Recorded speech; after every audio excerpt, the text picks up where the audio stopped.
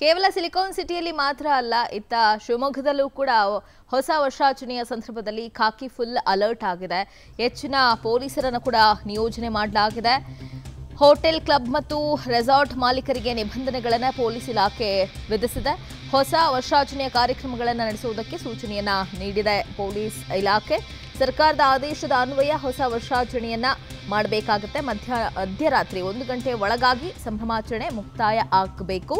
ಸಂಭ್ರಮಾಚರಣೆಯ ಸಂದರ್ಭದಲ್ಲಿ ಸುರಕ್ಷತೆಗೆ ಒತ್ತು ನೀಡಬೇಕು. ರಾತ್ರಿ ಹನ್ನೊಂದು ಮೂವತ್ತರವರೆಗೆ ಮಾತ್ರ ಮದ್ಯ ಮಾರಾಟಕ್ಕೆ ಅವಕಾಶ ಇರುತ್ತೆ. ಮದ್ಯಪಾನ ಮಾಡಿ ವಾಹನವನ್ನ ಚಾಲನೆ ಮಾಡಬಾರದು. ನಿಗದಿಪಡಿಸಿದ ಶಬ್ದದ ಮಿತಿಯನ್ನು ಮೀರಿ ಸೌಂಡ್ ಸಿಸ್ಟಮ್ಗಳನ್ನು ಬಳಸೋ ಹಾಗಿಲ್ಲ. ಶಿವಮೊಗ್ಗ ಜಿಲ್ಲೆಯಾದ್ಯಂತ ಪೊಲೀಸರು ಗಸ್ತು ಮತ್ತು ನಾಕಾಬಂದಿಯನ್ನು ಕೂಡ ಹಾಕಿದ್ದಾರೆ. ಅನವಶ್ಯಕವಾಗಿ ರಸ್ತೆಗಳಲ್ಲಿ ಹೊಸ ವರ್ಷಾಚರಣೆ ಸಂಬಂಧ ಅಸಭ್ಯ ವರ್ತನೆಯನ್ನು ಕೂಡ ಮಾಡೋ ಹಾಗಿಲ್ಲ. ಸಂಭ್ರಮಾಚರಣೆಯ ಸಂದರ್ಭದಲ್ಲಿ ಕಡ್ಡಾಯವಾಗಿ ಮಾಸ್ಕ್ ಹಾಗೂ ಸ್ಯಾನಿಟೈಸರ್ ಅನ್ನ ಬಳಕೆ ಮಾಡಬೇಕು. ಇವರು ತಮ್ಮ ಕೃಷಿ ಹೊಂಡದಲ್ಲಿ ಎರಡು ಸಾವಿರ ಮೀನ್ ಸಾಕಿ ಪ್ರತಿ ಆರು ತಿಂಗಳಿಗೆ ಮೂರು ಲಕ್ಷ ಸಂಪಾದನೆ ಮಾಡ್ತಿದ್ದಾರೆ. ನೀವು ಮಾಡಬೇಕಾ? ಅವರಿಂದ ಕಲಿಬೇಕಾ? ಫ್ರೀಡಮ್ ಆ್ಯಪನ್ನು ಈಗಲೇ ಡೌನ್ಲೋಡ್ ಮಾಡಿ. ನೋ ಮಾಸ್ಕ್ ನೋ ಎಂಟ್ರಿ ಬೋರ್ಡ್ಗಳನ್ನು ಸಾರ್ವಜನಿಕವಾಗಿ ಎದ್ದು ಕಾಣುವ ರೀತಿಯಲ್ಲಿ ಹಾಕಬೇಕು ಅಂತ ಪೊಲೀಸ್ ಇಲಾಖೆ ಕೂಡ ಈಗ ಸೂಚನೆಯನ್ನ ನೀಡಿದೆ.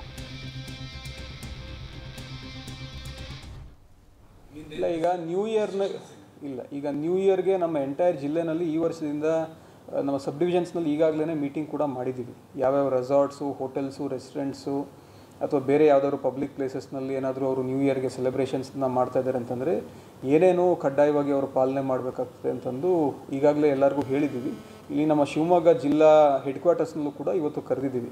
ಆಲ್ ಹೋಟೆಲ್ಸು ರೆಸಾರ್ಟ್ಸು ಮತ್ತು ರೆಸ್ಟೋರೆಂಟ್ಸು ಯಾರ್ಯಾರು ಆಯೋಜನೆ ಮಾಡ್ತಿದ್ದಾರೆ ಎಲ್ಲರಿಗೂ ಕೂಡ ಕರೆದಿದ್ದೀವಿ. ಮೊನ್ನೆ ಸರ್ಕಾರದಿಂದ ಕೂಡ ಒಂದು ಕೋವಿಡ್ ಗೈಡ್ಲೈನ್ಸ್ ಕೂಡ ಬಂದಿದೆ. ರಾತ್ರಿ ಒಂದು ಗಂಟೆ ಅಷ್ಟೊತ್ತಿಗೆ ಅದು ಕ್ಲೋಸ್ ಆಗಬೇಕು ಅಂತಂದು ಅದನ್ನು ಕೂಡ ಎನ್ಫೋರ್ಸ್ ಮಾಡ್ತೀವಿ. ಅಲ್ಲಿ ಕೋವಿಡ್ ಅಪ್ರೋಪ್ರಿಯೇಟ್ ಬಿಹೇವಿಯರ್ ಅಂತ ಕೆಲವು ಗೈಡ್ಲೈನ್ಸ್ ಏನು ಕೊಟ್ಟಿದೆ, ಅದನ್ನು ಕೂಡ ಅವರಿಗೆ ಮನವರಿಕೆ ಮಾಡಿಕೊಡ್ತೀವಿ. ಅದರ ಜೊತೆಗೆ ಯಾವುದೇ ರೀತಿ ಈ ಮಾದಕ ವಸ್ತುಗಳನ್ನ ಕೂಡ ಅಲ್ಲಿ ಬಳಕೆ ಮಾಡಬಾರ್ದು ಅನ್ನೋ ಒಂದು ಸೂಚನೆಯೂ ಕೂಡ ಅವ್ರಿಗೆ ಕೊಡ್ತಾ ಇದ್ದೀವಿ.